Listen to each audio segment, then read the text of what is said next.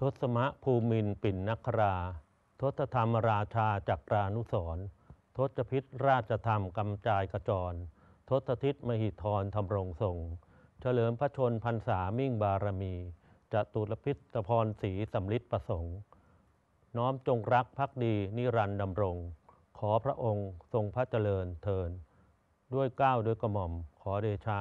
ข้าพระพุทธเจ้า นายสิริรัตน์ชุมอุปการ ผู้ว่าราชการจังหวัดพิจิตรพร้อมด้วยข้าราชการ ทหาร ตำรวจเหล่ากาชาติจังหวัด และประสงค์นิกรชาวพิจิตรทุกหมู่เหล่า